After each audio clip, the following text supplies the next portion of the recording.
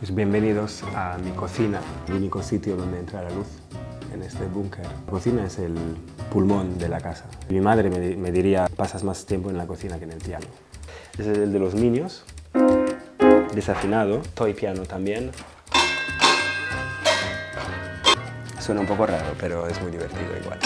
La definición de la casa es la estantería, estantería de libros. Yo soy muy lector y también soy muy mirador de libros. Es decir, coloco aquí delante, me leo los títulos. Bach is God podría ser calificado como el mejor graffiti de todos los tiempos. Se hizo en Oxford en el 59. La persona que hizo ese graffiti o se merece un, premio Pulitzer, por lo menos.